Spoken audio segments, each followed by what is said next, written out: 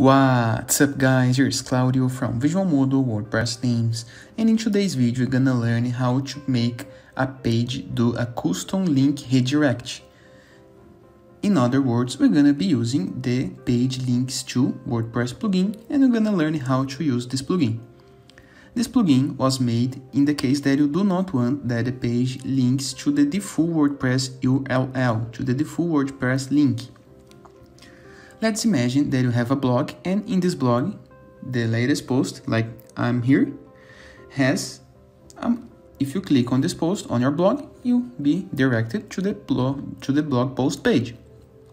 The same situation for portfolio, or if you click on the shop page, we're gonna load your projects, and if you click on a project, we're gonna load the project page. This is the default WordPress linking system but how to change it, how to edit this. In the case that, for example, if you click on this post, you'll be directed to the to a custom website, for example, or to another page of your site that isn't your post.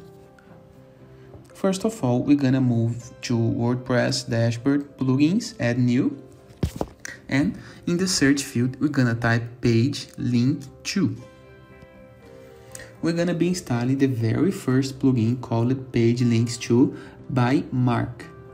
Click on Install Now button and wait until the plugin be installed. After that, we're gonna click on Activate button. It used to be a blue button.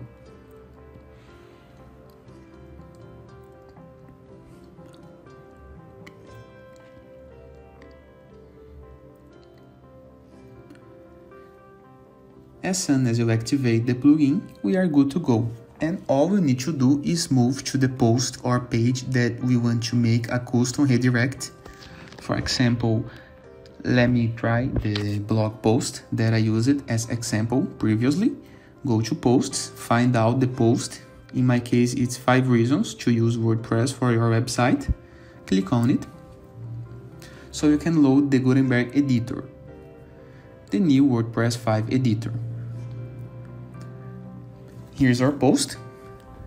And if you look at the right sidebar of options you're gonna find out a new field called page links to but let's explore the options here.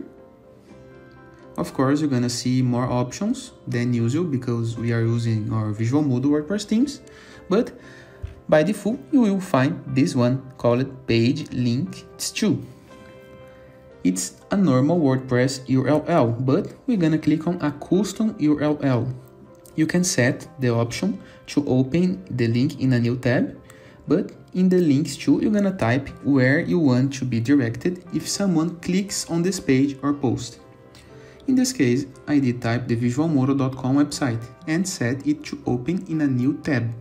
So, if you click on this post now, instead of going to the post page, to see the post contents, you're gonna be loading another website. Let me remove the page to open in the new tab and update the article again. Now, if you click on the post, you're gonna be directed to the Visualmodo website, in this case, in the same window. Now, let's try it out for pages, once the plugin also works for pages.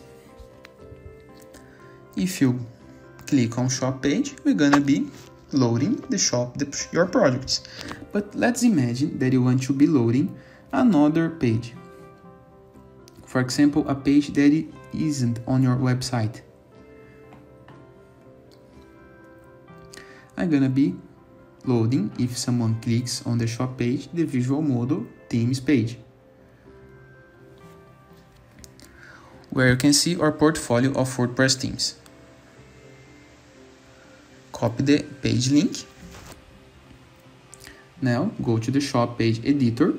Once again on the page links to in the right sidebar of elements, you're gonna set a custom URL, post the link and just update the page. Now if someone clicks on the shop,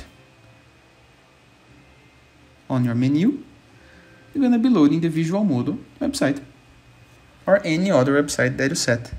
And it is, I hope you guys enjoyed this video. Feel free to use the comment section below in the case that you have any question. And don't forget to check out the visualmodo.com portfolio of amazing WordPress themes.